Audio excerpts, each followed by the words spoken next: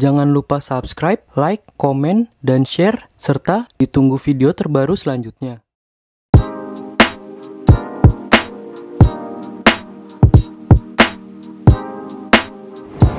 Halo teman-teman, balik lagi sama gue Danu, balik lagi di konten gue Libom Review, hashtag Libom Review. Kali ini gue lagi ada di IMS, Indonesian International Motor Show 2024 Ini diselenggarakan di G-Expo Kemayoran, Jakarta Jadi untuk IMS sendiri itu beroperasional atau memulai acaranya dari tahun 1986 hingga sekarang di 2024 di 2024 ini yang menarik adalah memang mengusung tema konsep otomotif yang lebih ke teknologi-teknologi atau kelistrikan, yaitu memperbesar atau mempercakup wilayah otomotif seperti mobil listrik, motor listrik, dan lain-lainnya. Dan dari teknologinya itu sendiri juga lebih berinovasi dan lebih modern. Dan pada kesempatan kali ini untuk IMS 2024 ini diselenggarakan dari tanggal 15 sampai 25 Februari 2024 diselenggarakan di G-Expo Mayoran Jakarta. Dan gimana keseruannya langsung aja cek video gue sampai akhir ya. Binguo EV merupakan mobil listrik kedua dari Wuling untuk pasar Indonesia setelah sebelumnya sukses dengan Air EV Perjalanan Binguo EV untuk sampai masuk ke Indonesia mirip dengan Air EV. Dipasarkan lebih dulu di negara Cina, kemudian ikut ditawarkan di Indonesia. Diketahui Binguo EV sebelumnya sudah diluncurkan di Cina pada Maret 2023 dengan nama Bingo EV. Namun, pada bulan Mei 2023, Mobil tersebut sempat mejeng di hadapan publik tanah air dalam Periklindo Electric Vehicle Show. Unit yang dipamerkan pada saat itu masih berupa setir kiri.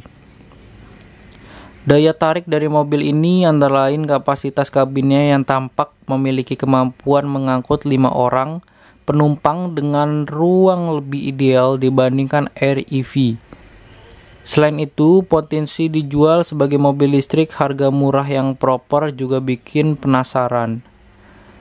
Untuk di bagian eksteriornya, yang turut menyita perhatian adalah bagian eksteriornya yang cukup dimensinya cukup lebar dan luas dan tampilannya juga unik. Mobil ini memiliki dimensi lebih besar dibandingkan REV Tak kalah uniknya, desain bodinya secara keseluruhan memiliki bentuk serba membulat dari depan sampai belakang. Dalam keterangan persnya, Wheeling beberapa kali menggunakan istilah retro, klasik, dan ikonik untuk menggambarkan desain Binguo EV. Di sisi lain, desain semacam ini kembali memanggil memori terhadap tampilan mobil-mobil Cina pada awal era kehadirannya di Indonesia. Bodinya didominasi di sensor bulat, tapi bedanya Bingu EV memiliki dimensi yang lebih besar. Untungnya Bingu EV memiliki beberapa sentuhan yang bikin wujudnya jadi kelihatan mengikuti zaman. Mulai dari lampu-lampu yang sudah menggunakan LED hingga finishing dual tone dengan atap berwarna hitam. Di atas kertas, Bingo EV memiliki dimensi panjang bodi 3950 mm, lebar 1708 mm, tinggi 1580 mm, dan wheelbase 2560 mm. Bagian kaki-kakinya dikawal ban berukuran 185 per 60 ring 15 dan pelek besi dan ditutup cap berbentuk percikan air. Pilihan warna-warna unik juga bisa ditemui untuk eksterior mobil ini yang terdiri dari milk tea, galaxy blue, dan mouse green. Untuk desain interiornya sendiri, dengan dua baris bangku penumpang yang secara teori mampu mengangkut lima orang. Nuansa yang tercemin dari bagian eksterior kembali terlihat di dalam interiornya. Hal itu tampak dari panel tengah dashboard, speaker, hingga bentuk kisi-kisi AC yang bentuknya bulat atau lonjong. Bentuk jahitan di jok dan dot trim juga menampilkan kesan yang senada. dan letak dashboard tidak mengalami perubahan berarti dibandingkan unit yang dipamerkan dalam PEVS 2023. Hanya saja kini menggunakan setir di sebelah kanan. Pusat hiburan dan informasi berkendara hadir dalam bentuk dua buah layar sentuh 10,25 inch yang diposisikan sejajar. Beberapa bagian pada interior mobil ini identik dengan milik Air AV karena keduanya berdiri di atas platform yang sama. Contohnya komponen lingkar setir dan gear selector yang berguna untuk memindahkan gigi. Kabin Bingo EV juga menawarkan ruang bagasi di bagian belakang Ditambah lagi jok baris kedua bisa dilipat untuk dibikin dimensinya tambah luas. Hal yang patut diapresiasi dari Wheeling terhadap produk barunya ini adalah penamaan varian langsung menggunakan jarak tempuh maksimum. Mobil listrik Wheeling Bingo EV tersedia dalam dua varian yakni 333 km dan 410 km. Masing-masing varian menggunakan baterai berjenis lithium ferro phosphate dengan IP67 rating. Namun tentunya terdapat perbedaan pada kapasitas. Untuk Binguo EV333KM menggunakan baterai berkapasitas 31,9 kWh, sementara Binguo EV410 memiliki baterai berkapasitas 37,9 kWh. Sementara itu, motor elektrik yang digunakan pada masing-masing varian memiliki tenaga sama yaitu 50 kW. Oke, ini interior dari Bingo EV dari Wheeling. Nah, ini untuk bagian setirnya dia soft touch. Ini ada motif-motif gini. Ini terkoneksi ke multimedia bagian speedometer dan display tengah dan ini displaynya nyatu gitu dari bagian multimedia tengah sama speedometer.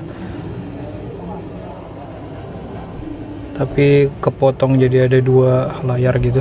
Dan ini full digital panel. Ini lucu banget mobilnya karena ini warnanya dari luarnya sendiri ini yang warnanya yang hijau muda gitu. Ini interiornya ternyata coklat dan krem. Jadi lucu lucu banget sih. Airbag ini logo Wuling SRS airbag ini multimedianya terkoneksi ke bagian tengah. Ini untuk AC nya nah bagian kanan nih untuk tuas. Ini ada motif gini di sini hard plastik. Bagian sini ya nih displaynya sudah elektrik semua. Sini stitching putih kulit coklat. Nah sini warna krem glossy bawah speaker joknya sendiri di coklat dan ada stitching putih. Ini untuk pengoperasian bagian kaca. Luar pedal gasnya. Bagian nih. Ini untuk lampu baca penerangan itu hazard. Lampu belum dilengkapi lampu. Ada dua ada yang 400 berapa ini yang tulus sama nah ini bagian laci penyimpanan. Udah soft opening.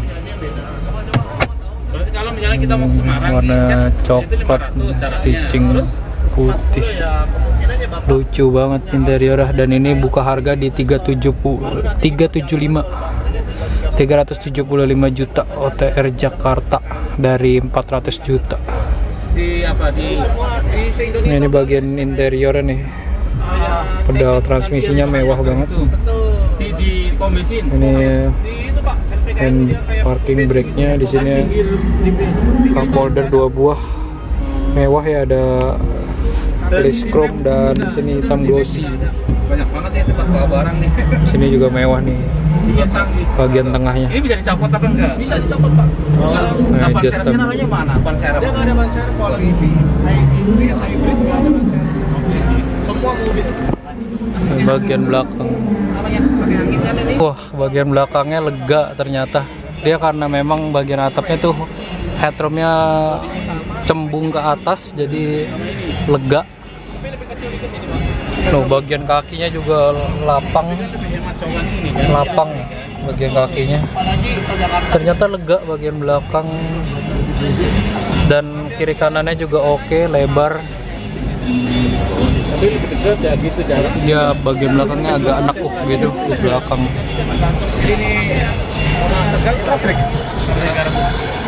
Ini mobil listrik Oh, ada penyimpanan belakangnya ya. Ada dua buah juga ya, kanan kiri. Ini nggak ada nggak ada ban serep dan dikhususkan untuk penyimpanan barang bagian bawah dan atas juga untuk penyimpanan barang.